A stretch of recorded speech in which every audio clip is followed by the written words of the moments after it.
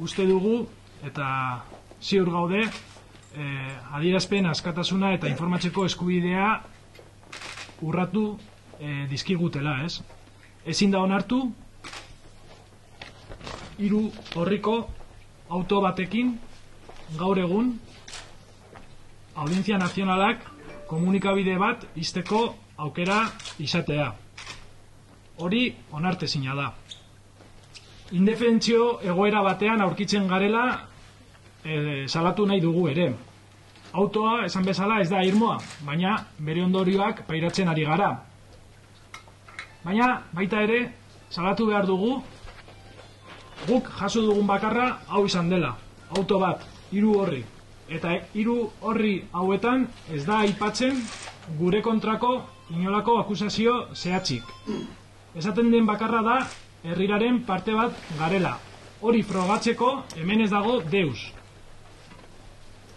Guardia Zibilaren txosten bat dirudienez existitzen da, baina guk hori ez dugu ezagutzen. Idegabekeri honen aurkako mm, martxan jarri daitezken e, ekinbide judizialetik aratago egin ziurrenik egingo direla, gure esportsuak bino arabiretan jarriko ditugu. Alde batetik, bilatuko dugu babesa. Bilatuko dugu adierazpen askatasunaren alde erantzunik anitza eta zabalena. Hori guztia artikulatzea. Hori izango da gure e, egin beharreko bat. Horretarako, urrengo egunetan, jarriko dugu martxan, edo zabalduko dugu manifestu txiki bat, ma, txikia baina kontundentea, e, adierazpen askatasunaren alde, eta ateak, itxi, e, ateak irekiren itxiraren aurka. Gainera, herritar guztiei gonbidatzen diegu urrengo larun batean, larun bat honetan ez urrengoan, burutuko dugun kontzentrazioan parte hartzeko.